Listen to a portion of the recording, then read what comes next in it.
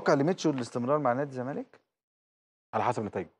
حسب نتائجه. طبعا. المباراة دي هتكون مؤثرة لميتشو؟ بنسبة بنسبة كبيرة. آه. يعني لا قدر الله- للأسف للاسف آه. بنسبة كبيرة. يعني. ده توقعاتك. آه للأسف بنسبة كبيرة. آه يعني المباراة دي لا قدر الله في حاجة ميتشو ده يمشي. بنسبة كبيرة هيبقى في كلام. آه. بنسبة كبيرة. بنسبة كبيرة لأن الكلام على كارتيرون الحاجات دي يعني، يبقى آه، أي أي اسم تاني ممكن يخش آه، ممكن حد مصري ممكن أي ترشح مين مصري؟ يخش في الوقت الصعب ده. اللي ممكن يكون موجود مع نادي الزمالك. آه يعني إن شاء الله الزمالك يعدي ويفوز أو يتعادل. لكن في في اسم مصري يصلح نادي الزمالك في الفترة دي؟ أنا أنا لو أنا لو آه. أنا ما غيرش أصلاً. لو أنا اللي في إيديا ال- ال- القرار ما غيرش رشح لي مدرب مصري برضه للزمالك في الفترة دي.